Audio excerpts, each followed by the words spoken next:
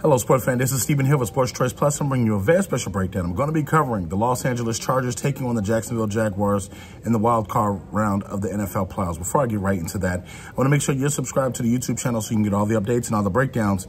Without further ado, let's get right into it. Looking at this game here, we did see the Jaguars had to essentially play to get in, beating the Tennessee Titans late in that football game with a lot of defense. The offense left a lot to be desired on the field, but then you saw in this game here, there's going to have to be a shift Trevor Lawrence is going to have to carry this offense in his football game for the Jaguars for them to have a chance. Justin Herbert and company, they've been to the playoffs before. They know what this is. They know what this is about. They're not setting their sights on just one, just making the playoffs. They're trying to make the playoffs and win in advance multiple rounds. When you're looking at Justin Herbert, he has one of the best sets of wide receivers on Mike Williams and also Keenan Allen that you can ask for. They have injury history. They have injury bugs that plague them. At times they're in the game, at times they're not. But if these guys can be healthy enough to get through this football game, I see a decisive advantage for the Chargers. Defensively, the Jaguars have a lot of young pieces. At times they play like game breakers. At times they don't. At times their aggressiveness is used against them because they're caught with their pants down essentially uh, uh, and they give up big plays. Justin Herbert has an arm that can go down the field. He's not going to sit there and dink and dunk you He's going to try to force the ball down the field, and he has accuracy as well. When you're looking at this one here, I believe the Jacksonville Jaguars overall on paper have the better defense to me. This is just my personal opinion. The offense then goes to the Chargers. You're looking at special teams being the, the straw that broke the camel's back.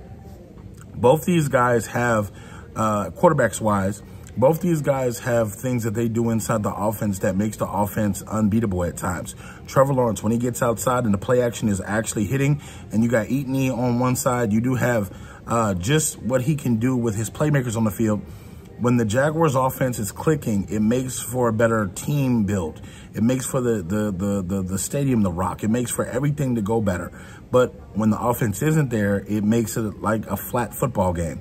The Chargers, on the other hand, it doesn't matter what goes on with the defense. Their offense is always going to be carrying them because Justin Herbert is always throwing for 300 yards. He's always throwing for multiple touchdowns. He may give you a couple interceptions, but he's always throwing for multiple touchdowns.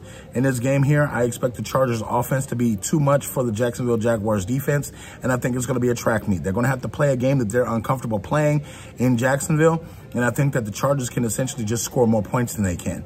When it's all said and done, I expect the Chargers to win this one. I'm not going to say it's a blowout, but you do have a couple of monsters on that offense that are going to help. Austin Ekeler being able to run the football against the Jaguars is going to help in this one. And I think that when it's all said and done, the Chargers are just a better team, and it's their time right now. So I'm picking the Chargers to win this one. Are you Chargers fans? Are you Jaguars fans? Get in the comment section below. Definitely check out Sports Choice Plus, and we'll see you on the very next video.